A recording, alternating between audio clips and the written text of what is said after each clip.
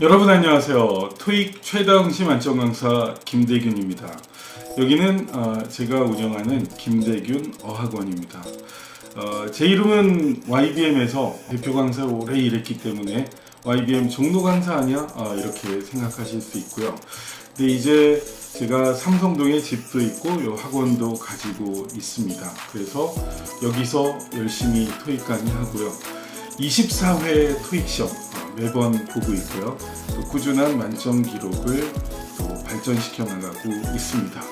어, 제가 기네스북에 오르게 또 우리나라 국가 기록원에 또 기록에 오르게 또 추진 중인 것도 있고요. 또 여러분이 응원해 주셔서 아, EBS FM 김대균 토익킹 강의, 아프리카 TV 또 김대균 토익킹 강의도 재밌게 하고 있습니다.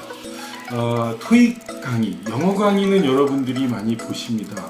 그래서 저도 이제 앞으로 영문법 이쪽으로도 어, 영역을 확장시켜 나갈 겁니다. 그래서 토익 시험 영어에 그 김대균이 있지만 영문법에 김대균도 보시게 될 겁니다.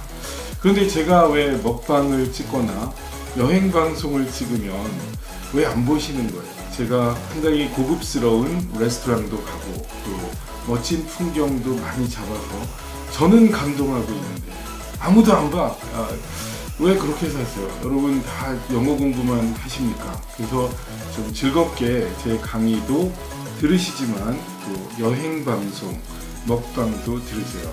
제 아버님 유언이 있으셨습니다. 아, 너돈 그렇게 벌어서 뭐하냐? 다 못 쓰고 죽어. 아니면 즐겁게 살다가 이제 짧아. 또 이런 얘기도 있고요.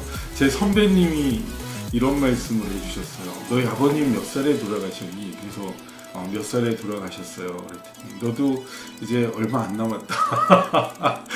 인생이라는 게 짧거든요. 그래서 어, 그런 걸 느껴갖고 저도 또 인생이 좀 재미가 없어서 산악 오토바이에 취미를 붙이다가 한번 사고도 당해봤어요.